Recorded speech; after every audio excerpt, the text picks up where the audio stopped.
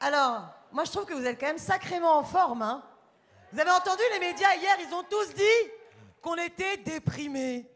Franchement, est-ce qu'on est déprimé Non On n'est pas déprimé et on n'est pas fatigué. Parce que aujourd'hui et toute la journée d'hier, que ce soit dans les euh, cogitations collectives, que ce soit dans toutes les discussions, on a pu se rendre compte que on est toutes et tous ici impliqués dans nombre de luttes.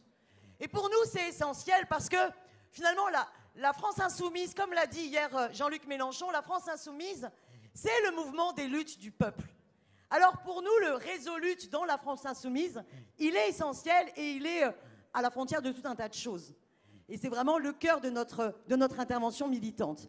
Alors, ici autour de la table que je vous présente, eh bien, il y a Philippe Giravert qui coanime le réseau des luttes, syndicaliste transport que vous connaissez, Nadège Montou, syndicaliste de la santé,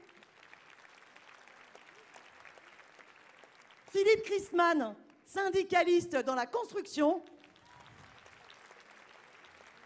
et euh, Céline Boussier, notre lanceuse d'alerte sur le handicap, la première relaxée.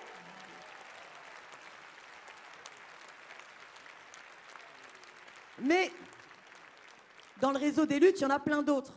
Il y en a plein d'autres, des syndicalistes d'ailleurs, de toutes les euh, confédérations euh, syndicales principales mais aussi des militants euh, associatifs, aussi des lanceurs d'alerte et lanceuses d'alerte.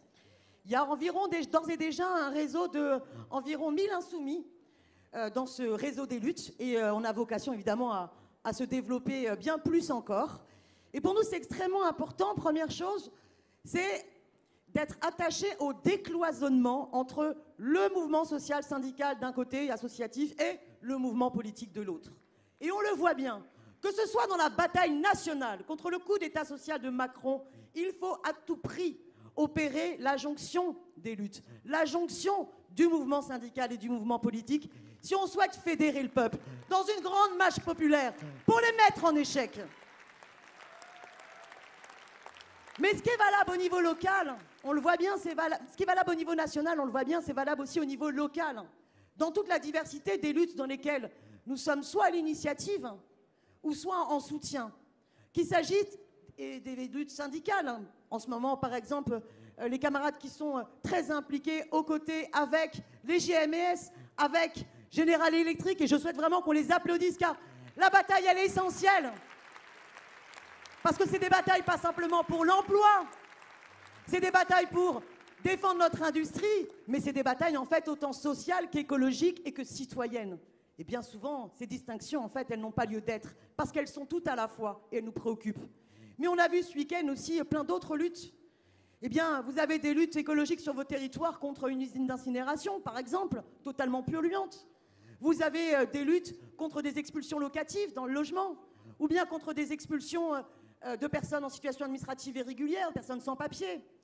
Vous avez donc une diversité des luttes dans lesquelles nous sommes impliqués parce que nous pensons que le point de départ de la soumission, c'est justement la lutte, c'est justement la résistance.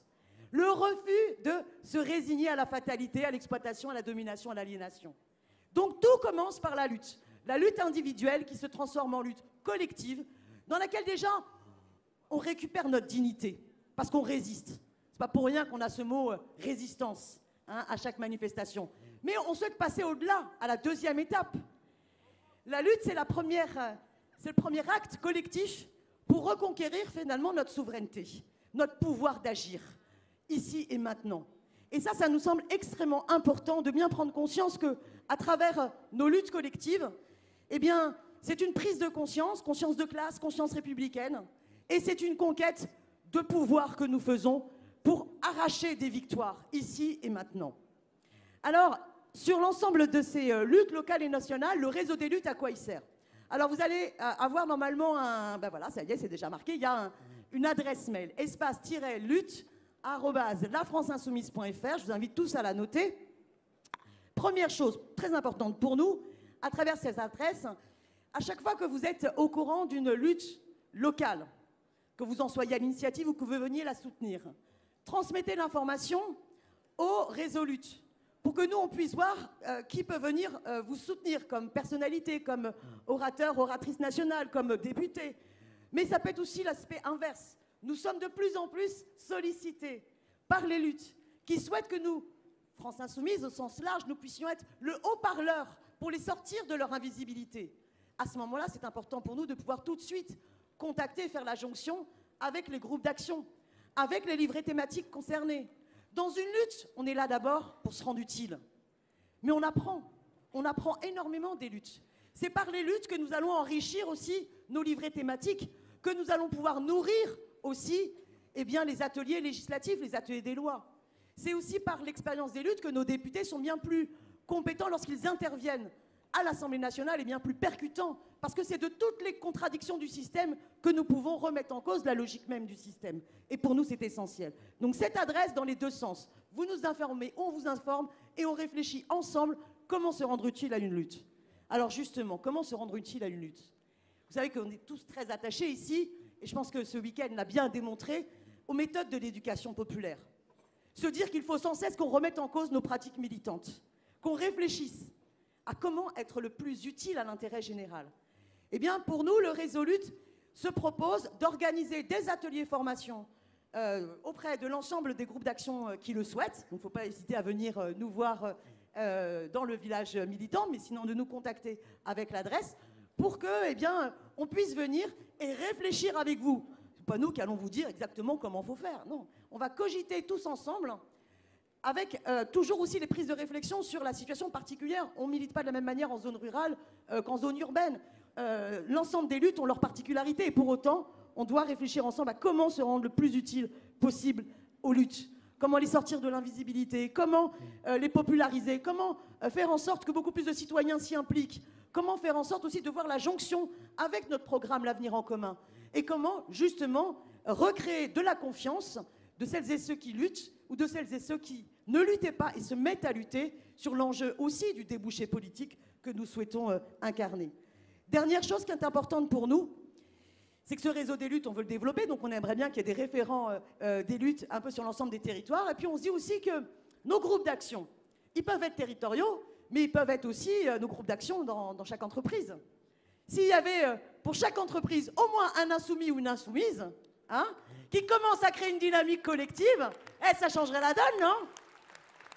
De la même manière qu'on a vu avec la méthode Alinsky, hein, si dans l'ensemble des quartiers on était capable de créer de l'auto-organisation, ben, on souhaite aussi faire en sorte que dans l'ensemble des entreprises on crée de l'auto-organisation.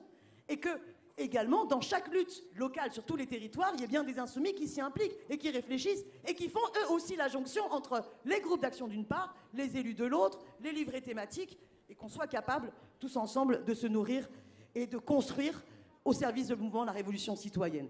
Alors nous, on, pense que tout cela, c'est possible, c'est nécessaire, c'est urgent, on n'est pas du tout déprimé, bien au contraire, on est déterminé. Et comme disait euh, Victor Hugo, ceux qui vivent sont ceux qui luttent.